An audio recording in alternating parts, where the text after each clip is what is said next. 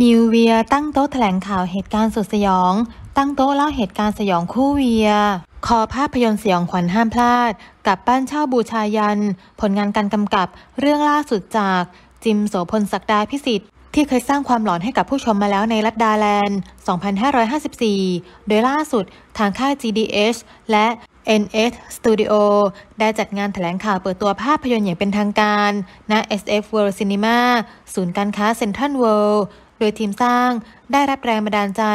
ในการสร้างภาพยนตร์เรื่องนี้ จากคดีสะเทือนขวัญ เมื่อผู้เช่าคือพวกลัทธิประหลาดกำลังคุกคามครอบครัวเจ้าของบ้าน เพื่อเอาชีวิตมาเป็นเครื่องสังเวย จึงกลายมาเป็นเรื่องราวของสองสามีภรรยา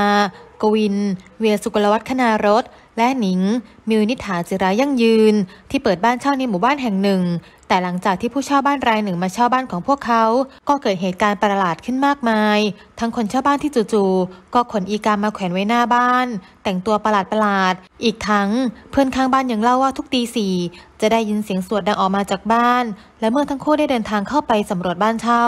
ยังพบสัญลักษณ์สามเหลี่ยมประหลาดประหลาดที่วาดด้วยเลือดอยู่ในบ้าน โดยตำรวจสันนิษฐานว่าผู้เช่าอาจจะเป็นลัทธิที่ใช้บ้าน เป็นพิธีทางไสยศาสตร์ เพื่อบูชายัญอะไรบางอย่าง เรื่องราวการสืบหาความจริงสุดสยอง ในบ้านเช่าหลังนี้จึงเริ่มต้นขึ้น